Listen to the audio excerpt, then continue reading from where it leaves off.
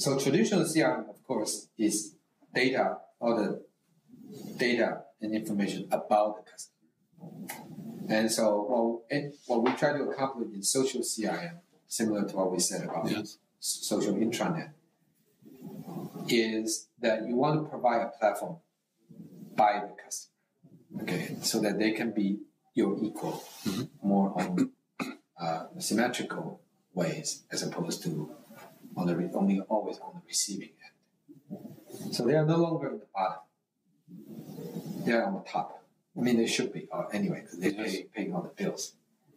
And here's the important thing: important thing is that you in fact are no longer in touch, in control anyway. If your customer they're angry and they don't find a proper venue, they can go to Twitter, many many other public places and make a big mess for you. Okay, so uh, it can only get worse if you don't really take this seriously.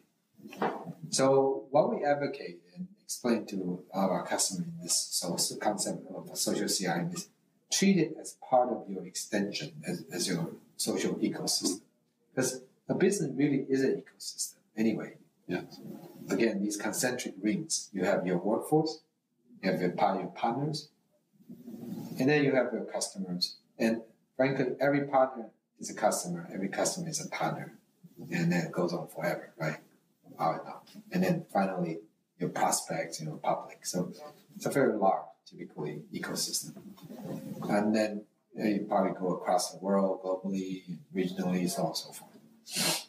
So if you think about it like that and you can organize your business in such a way, then social CRM simply becomes a very natural way of doing business as part of this ecosystem. So what you can do there is to uh, have company operate many, many of these networks. Some of them are hubs, some of them are spokes, but they can share a lot of things or not share for that matter for a lot of uh, proprietary and privacy reasons.